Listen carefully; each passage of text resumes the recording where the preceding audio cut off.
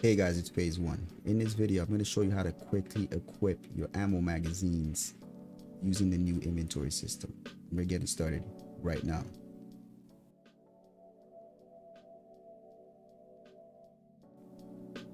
Alright, to get started, go into inventory using the I keybind.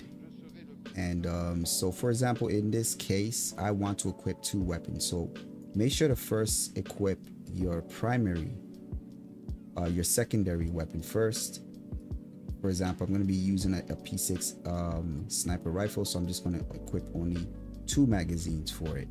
And uh, my primary, I will be filling up the slots for um, the primary weapon. So what I'll do is I will right click the stack, equip all, and then this will allow it will fill in the, the remaining uh, slots for the inventory. Um, yeah so this will allow you to quickly get yourself in and out of the inventory system. That way you're not wasting too much time. Big thanks to the guys in the org that showed me this uh, not too long ago. Just wanted to share this with you. Right if you're new to this channel make sure to subscribe. If you haven't already i will see you on the next one